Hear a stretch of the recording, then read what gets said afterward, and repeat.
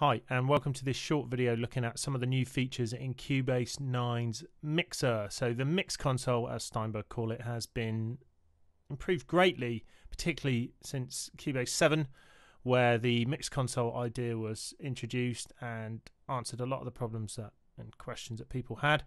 Um, and now it's taken another step forward. Now, probably the biggest part of this is just hidden on the left here it's fairly straightforward, and that is that there is history for the mixer channel. So if we make any changes here, uh, and also not just there, but if I make changes to plugins, etc., this, that, and the other, so you can see that all these things are being remembered, and we can step back through them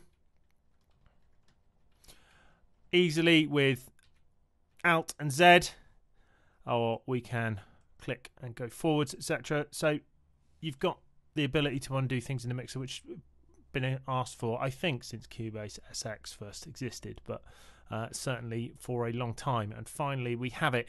Uh, there are a few important things to note about this. The most important thing is that this history is not saved with your project. Okay, if you close the project and reopen it, the history will be empty. Uh, I'd imagine otherwise the whole thing could just become a massive, um, huge, great big file because with loads and loads of changes that you make, I would think they would be enormous. Um, but whether or not that will happen in a future date or be possibly be split into another file, we don't know. But it's it's a really important thing. Um, we've got slightly more standard setup on the windows. So much like the project window, we've got the left zone and the right zone, which are capable of being done with keyboard shortcuts. And we've also got the channel racks can be shown and hidden um, on the button here. Um, other things have changed a little bit.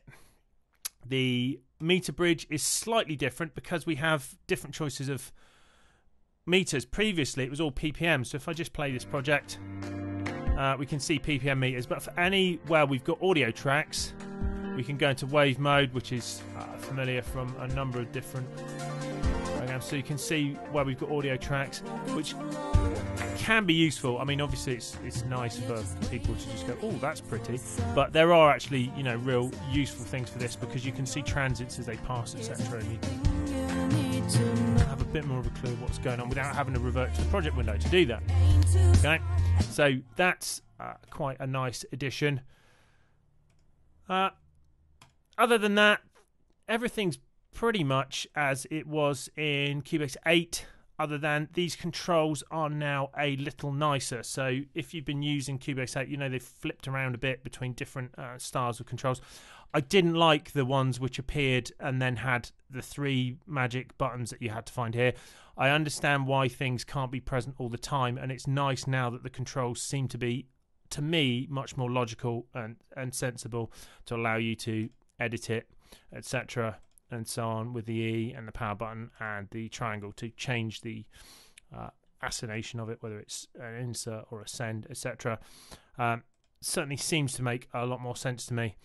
Um, so that's the main things. I think for most people, the history is going to be the the big game changer because it just allows you to make changes and undo them quickly. So many has been the time when you've accidentally moved the wrong channel or experiment with a couple of things and then can't remember exactly where it was before, that's all gone. So hopefully that'll be a positive thing for you. If you've enjoyed these videos and found them useful, then subscribe by clicking on the MTT logo in the bottom of the screen now. Also, visit musictechtuition.com for tips, tricks, and advice, as well as information about the books I've written, the complete guide to music technology using Cubase 9, and Music Tech A level using Cubase 9. These are a great resource whether you're just getting started or you've been working for a few years now. The information in them will allow you to take your sequencing, recording, and production to the next level and give you a well rounded grounding in all areas of music technology.